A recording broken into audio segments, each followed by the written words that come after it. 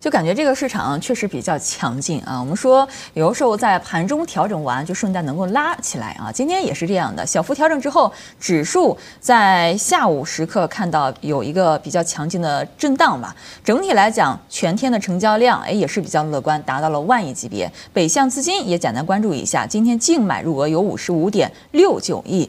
呃，整体指数我们也全面关注一下，上证呢涨幅百分之零点五五，报在三零七九点六九；深圳成指这边涨幅百。百分之零点二一，报在九七幺七点三七；创业板指百分之零点一二涨幅，报在幺九零九点二五；科创五零百分之零点二八涨幅，报在八幺四点零三。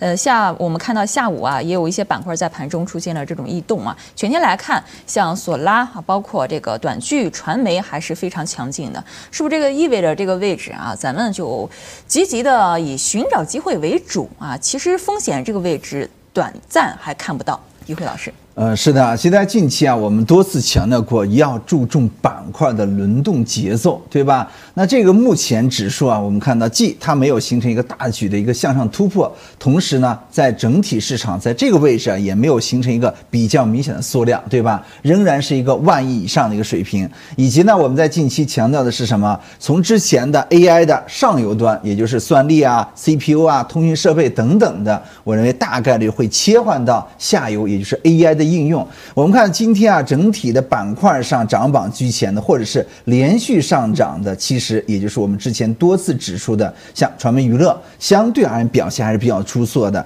尤其是我们看到概念性板块里面的 Sora 短剧游戏，尤其这 Sora 概念，也就是纹身视频这块形成一个再次一个拉升。如果大家还记得吗？在上周的时候，我们讲到这个传媒娱乐，我们讲到了几个故事啊，大家可以重点听一下。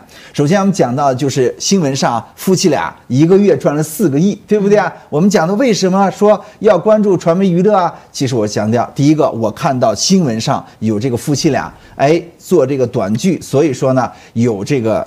咱们所说的一个收入了四个亿啊，这就形成了一个爆款了。这是其其二，我说哎，有一个《西游记》嘛，AI 相关性的《西游记》生成了，以及 AI 的电影生成端，然后全球上映了。那么在周一的时候，我又看到了什么 AI 导演，对吧？芒果台的，哎。在 AI 导演正式投用使用了，以及呢，我们看到周末还有一个两个啊，对吧？一个男明星，一个女明星，然后生成了，对不对啊？复活了嘛？也就是都是在 AI 应用端上整体而言形成一定的反弹。那么在本周一啊，也就是三月十八号的时候，我们看到啊，英伟达的 GTC 大会，也就是黄仁勋开始。是有一个比较明显的一个主题性的演讲之后，那么整个的传媒娱乐，尤其是通讯设备板块先涨，然后今天我们看到相对而言表现比较弱势，那么还是在于什么应用端。所以说来讲的话，近期啊，我不知道大家有没有一直看我们的复盘环节啊？我们在复盘环节，现在近期我强调几个板块我们不沾。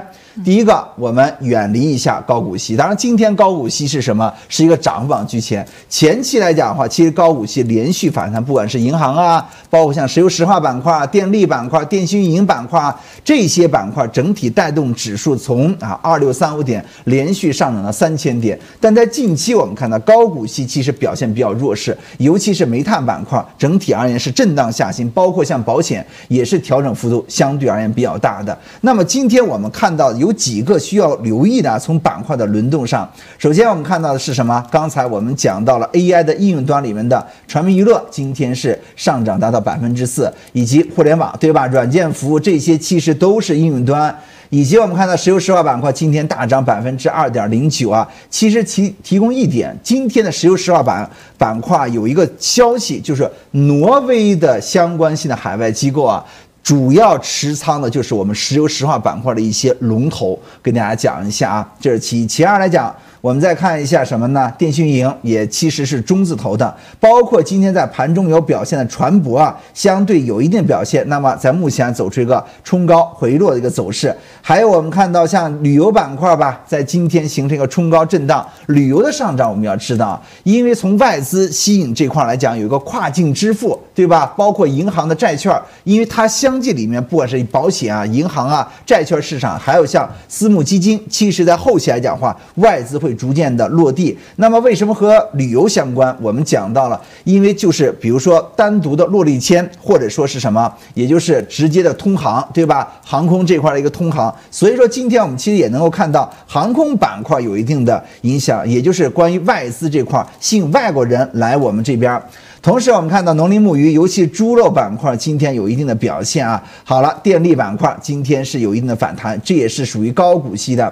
那么，通讯设备板块可以说是前期的 AI 的权重，那么今天是相对的表现是比较弱势的。钢铁我们要留意一下，今天其实是什么？在下午的时候啊，一开盘整个的市场表现不错，但是钢铁是加速的运行向下，这个要留意一下，因为这个和什么有关系？我们看一下证券板块啊。在十一点十五的时候快速拉涨，对吧？我们盘中看到很多人说，哎，这个位置牛起手动了，证券板块拉涨，是不是机会来临？我们看到在整个指数下午一开盘的时候，其实表现还不错呢，对吧？它没有形成一个快速下跌，但是证券板块反而我们看到的是什么？是一个弱势震荡，这就代表的是什么？目前证券板块在短期之内仅仅是带人气，而不是一个主要的所谓的主线品种。我们投资。一定要听清楚了。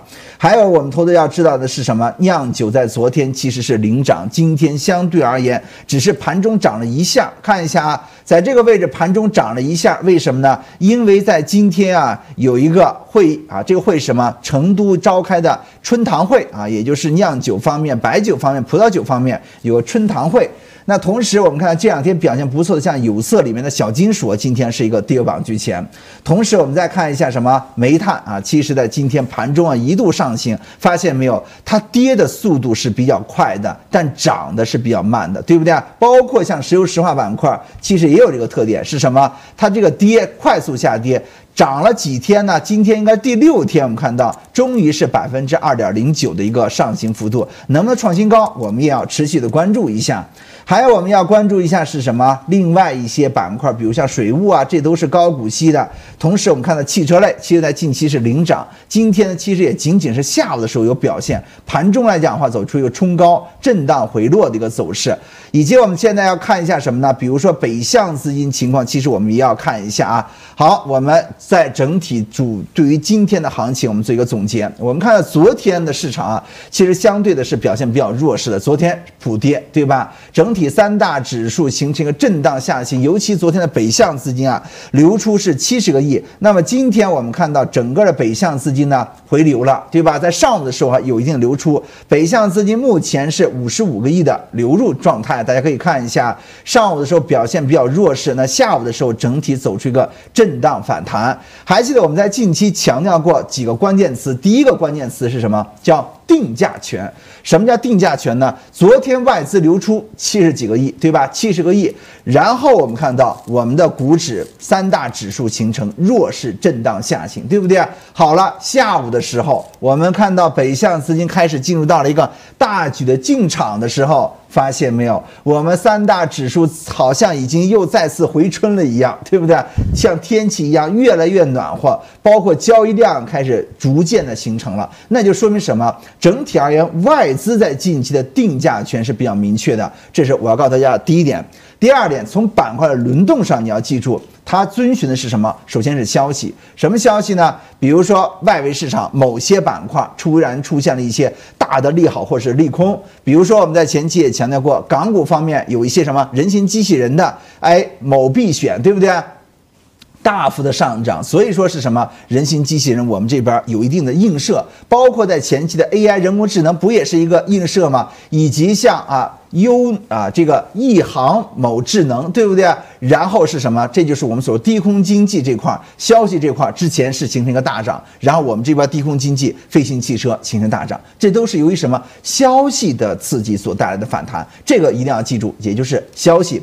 那么第三个关键词我们要知道会议，什么会议呢？近期的不管是春堂会，对吧？酿酒的方面的有消息，包括今天还有什么核工业的会，以及我们讲到了目前。前令全球瞩目的是什么？GTC 英伟达的开发者大会，尤其是黄仁勋的啊，对于未来的一些表态。比如说科技的，包括它的 GPU 啊，一些新的芯片，它已经很明确的做一个方向。昨天上涨呢，我们看到像智能汽车这块有一定的反弹，其实在于什么？它的计算机相应的一些系统，汽车的系统有一定的变化，所以说来讲的话，导致昨天形成一个上行。那么对于目前的市场，我再次强调一下，我们重在的是什么？我们重在的是板块。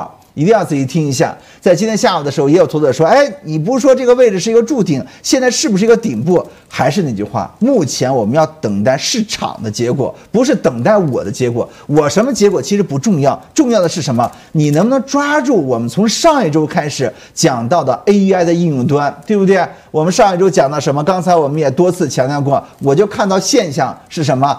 夫妻俩挣了四个亿一个月，然后呢，A A I 的相关性的动画片儿，包括电影，包括 A I 复活，包括现在有一门生意是什么？A I 相关性的复活以前的这个哎故人呀、家人呀，有这样的，而且我记得有一个小伙子什么复活了他的奶奶，然后就反正这段还挺感人的。我一看，我就说这个肯定是一个什么，它的应用端所带来的目前的一个风口，而不是说它的销量不是。所以说，现在而言，我们要看看的是什么？它的应用在哪些方面还会有拓展？那现在而言的话，我们一再强调的，我们关注的应用啊，跟大家说一下，回报率已经超过二十厘米了。那么，如果大家想还是知道的话，持续关注我们 IBM 证券服务频道。对于目前的板块，我再次强调：一要关注 AI 的应用；二，我认为稍微的远离一些绩差股，因为今天我看到像微盘股票、中小盘股票，确确实实相对的表现还不错。但是而言的话，市场在这个位置，你要慎重。慎重的是什么？万一出现我们在前期强调过，大家可以看一下啊，从上证指数的技术上发现一个特点是什么？这个位置是去二零二二年的七月份，我们看一下，我们在昨天包括今天早评强调过二百日均线，你看现在也是。二百日均线，我们对准的是什么？是 MACD 指标死叉死叉，然后我们看到的是什么？整体而言，它的红柱啊持续的形成下行，对吧？变绿，然后现在马上红柱要变绿了。如果说量能在后期持续萎缩的情况下，没有主线的情况下，那其实市场指数会不会回落？我们也要关注一下，就关注两块，第一块是这儿。第二块是在哪儿呢？我们再看一下这个位置，也是二百日均线，我们看到形成死叉，对吧？好，它这个位置支撑是在于什么？六十均线，对吧？目前的六十均线是多少？二九二七点。所以说，很多投资者说这个位置要走一个二浪也好，这个位置不跌也好，其实市场还是那句话啊。没有定论，我现在也没有定论说一定是向上还是一定是向下，跟随市场，然后做好你能做的板块，能够做到你能觉得说市场的这个位置获得一些超额的收益，这才关键，而不是今天说我说明天上涨有用吗？我说明天下跌其实有用吗？主要是抓板块。陈老师目前就是看哪些板块资金流入比较多，我再次强调一下。高股息目前我不看啊，这期其二房地产我不看，证券我不看，医药我不看，半导体我不看。包括目前我刚才强调过，中小盘的一些业绩可能会出现一些突然变脸的，也不要看，因为四月份往往叫四月决断吧。所以说，对于明天的行情，我认为仍然是一个分化性的行情，能不能像今天，尤其在下午的时候出现一定的普涨，要看，要看的是什么外资，因为现在是外资是具有定价权的。我们如果说外资在今天上午的时候不动，你发现吗？今天早上起来指数就是横着走，对吧？哎，稍微的外资一动，你发现好像我们又活了，这就说明什么？我们如果说外资突然的流出的情况下怎么办？昨天外资为什么流出？其实就在于日本央行要宣布隔时隔十七年要干什么？要加息了。我们多次强调过吗？所以说外资，哎，很多人说外资跑了，对不对？这不。